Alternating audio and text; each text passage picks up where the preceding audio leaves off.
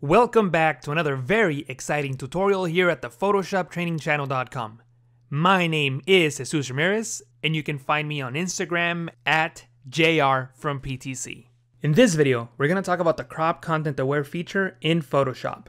The first thing I'm going to do is I'm going to click on the crop tool.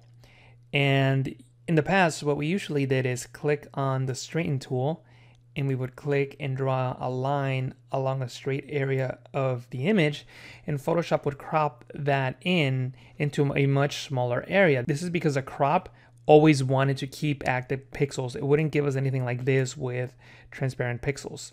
So when we would create the crop, we would get a very tight result and we would lose a lot of information.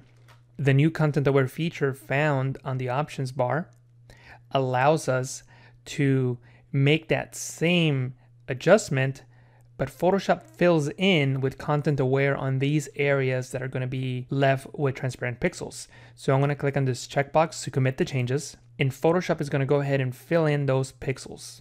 And you can sort of see the selections here on the top, the bottom, and on the sides. And there you go. Photoshop fill in the pixels up here and on the other corners. The content aware feature with the crop tool is also good if you want to expand on the sky. So if we had this image here and we wanted more sky, we can simply click and drag up, commit the changes. This time I'm just going to hit the enter key on the keyboard. In Photoshop, it's going to go in and fill in the transparent pixels on this image with the sky. We could also do the same thing with the water. I can click and drag this down in case we wanted more water, commit the changes, and the same thing's to happen. Photoshop is to fill in those pixels and we're to have more water. Now, even though this is a great tool and it works great for skies, for water, grass, and things like that, it's not going to be as precise when we're dealing with buildings or things with more detail. So if I click and drag this to the left here to fill this area in, we are going to get some issues. So just keep that in mind when you're working with your images. As you can see there, it's not a perfect fill but it's still a great feature to utilize because you will get to use more of your image than you would have otherwise.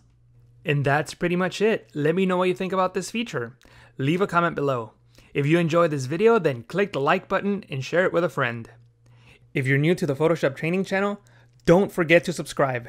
Thank you for watching, and I'll talk to you again soon.